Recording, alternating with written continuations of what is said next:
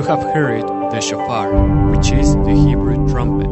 Elohim, God, is speaking to the heart of humanity. So humanity repents of sin to keep His Torah, His law, to live a holy life and keep Shabbat and so on. Visit us online at www.gozoypaz.mx.